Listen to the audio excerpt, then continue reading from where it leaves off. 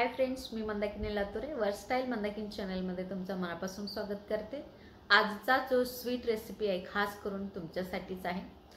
Community button हा मला प्राप्त झालेला आहे. त्यामुळे मी स्वीट रेसिपी तुमच्यापर्यंत शेअर करत आहे. आशा आहे तुम्हाला नक्कीच आवडेल. खूप म्हणजे खूप टेस्टी आणि सोपी रेसिपी आहे. खूप खूप धन्यवाद सगळ्यांना इथेपर्यंत आणण्याचा. सिल्वर बटनपर्यंत सुद्धा घेऊन जावा. सिल्वर बटन काय असतं तुम्हाला माहितीच असेल. हा यूट्यूब यूट्यूबचं चॅनल ज्यांनी करतात त्यांच्यासाठी हा अवॉर्ड आहे अवॉर्ड स्वप्न असतं सगळ्यांचं. तिथंपर्यंत नक्कीच घेऊन जाल. ही मात्र अपेक्षा राहील तुमच्याकडून माझ्या. प्लीज सबस्क्राईब करायला विसरू नका. चला तर आपण साहित्यकृती पाहून घ्या खपोली खीर गव्हाना छान स्वच्छ करून घ्यायचं आहे नंतर दोन ते तीन वेळा छान धुवून घ्यायचं आहे स्वच्छ पाण्यानं. आणि दोन ते तीन तास आपल्याला ह्या गव्हाना भिजत ठेवायचं आहे. दोन ते तीन तास झालेला आहे हे पाहू शकता ते. आता आपण एका कुकरमध्ये जास्तीत जास्त पाणी ठेवून छान मऊसर आपण शिजवून घेऊया. हे पहा इथे शिजून तयार आहेत. थोडं जास्त पाणी झालं तरीही काही हरकत नाही छान स्मूथ होतो. आता त्याला थोडंसं मॅश करून घेऊया जसं आपण पावभाजी करतो. आता एका बाउलमध्ये दोन चम्मच पीठ घालून घेऊया गव्हाची आणि त्यात दूध किंवा पाणीनं छान मिक्स करून घेऊया.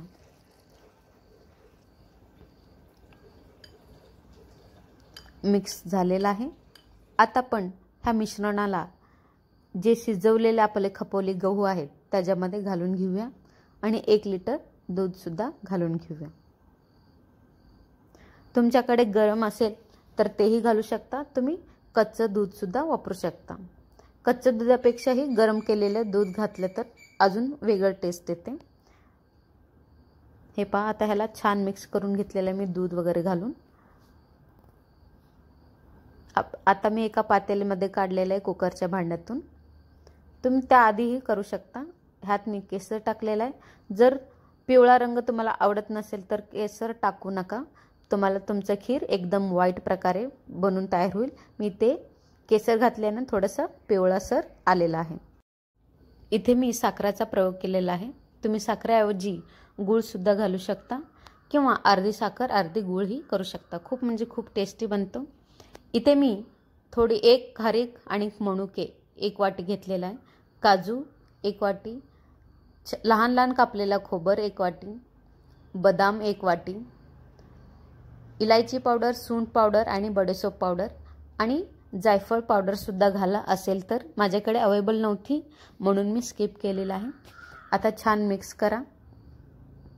खूप म्हणजे खूप टेस्टी झालेलं मी त्या शेजारीना सगळ्यांना एक एक वाटी दिलेलं.